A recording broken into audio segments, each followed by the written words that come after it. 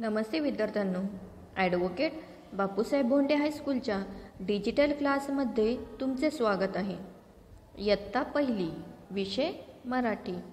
विद्यार्थ्यांनो आजच्या व्हिडिओमध्ये आपण पक्ष्यांची ओळख शिकणार आहोत.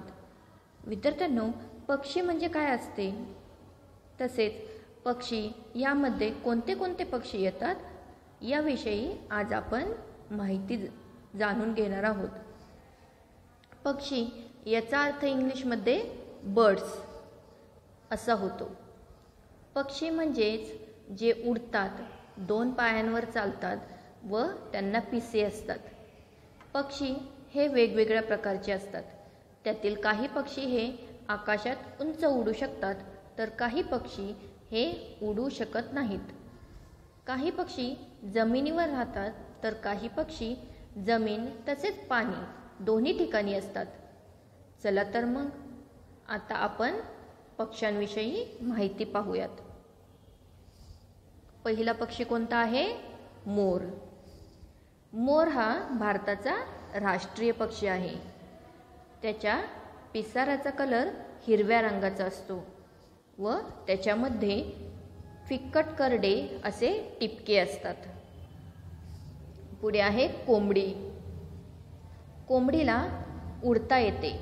मात्र शरीराच्या वैशिष्ट्यपूर्ण ठेवणीमुळे जास्त अधिक उंचीवर उडता येत नाही.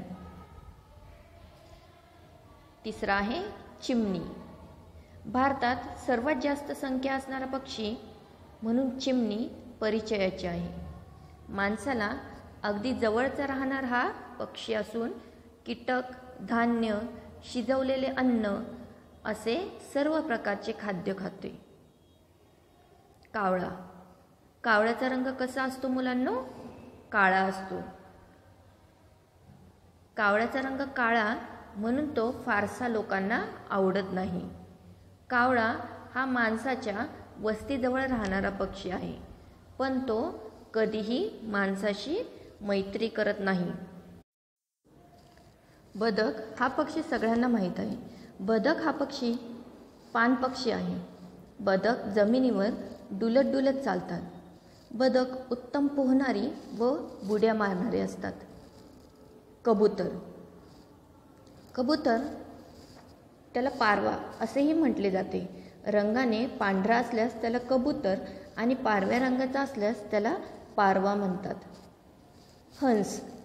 हंस पाण्यावर तरंगणारा पक्षी आहे. हंस आपल्याला बहुतेक वेळा बहुतेक वेळ पाण्यात घालवतात. त्याला जलीय पक्ष असे म्हटले जाते. हंसचे स्वरूप शांत असते. अतिशय सुंदर पक्षी आहे. पोपटाचा रंग हिरवा आहे.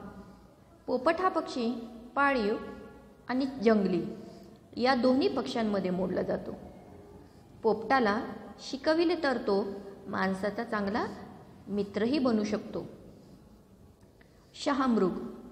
शहामृग जगातील सर्वात मोठ्या आकाराचा पक्षी मानला जातो.